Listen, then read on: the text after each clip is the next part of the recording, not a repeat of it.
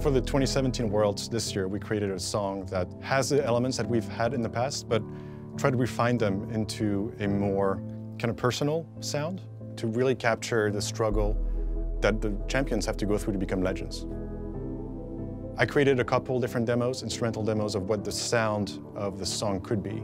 He sent me a chord progression, just a little bit of piano, and we were kind of surprised how quickly it came together. I wrote him a verse, a few hours later, sent it to him at night. He wrote me back, he said, keep going.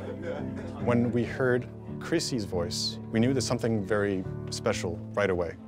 Legends never die, they become a part of you. Against the Current, the sound they had, it really embodied the message of it. Uh, it has that vulnerability in the beginning and then the power at the end. My level one. The first time we met with them, it, right away, there was a really easy connection between all of us. Um, they're gamers, uh, she plays League and streams. Something that's beyond just, uh, yeah, we need a song, can you sing it? So, kill the minions. My main champion is Annie. She was the first champion I like truly learned. I think she's like feisty. I think she's very complicated. Like, you know, it's not just this little girl. She's also got this like fire spirit. So I kind of identify with her too.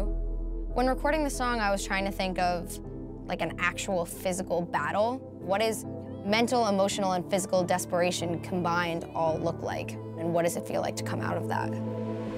The message we were trying to get across from this was what it would be like to be center stage at Worlds with you know, 50,000 people around you, however many millions watching online. What does that feel like, that moment where the world is watching you? What are you gonna do?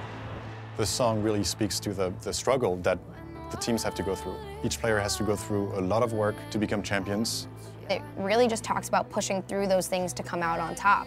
Their failures are okay, and instead of being steps back, they're actually steps forward towards, you know, solutions and victories.